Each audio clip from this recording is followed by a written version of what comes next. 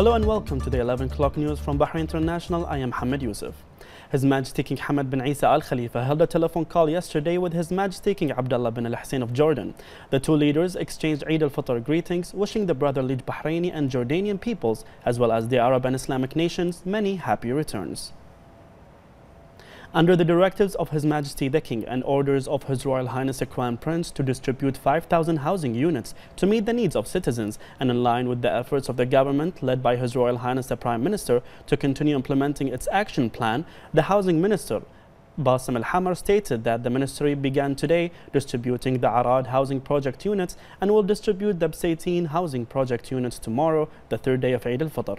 The minister added that Arad housing project is part of a series of housing projects in various cities of the kingdom within the government's work plan to build 25,000 housing units and implementation of the order of His Majesty the King to build 40,000 housing units in the shortest period of time.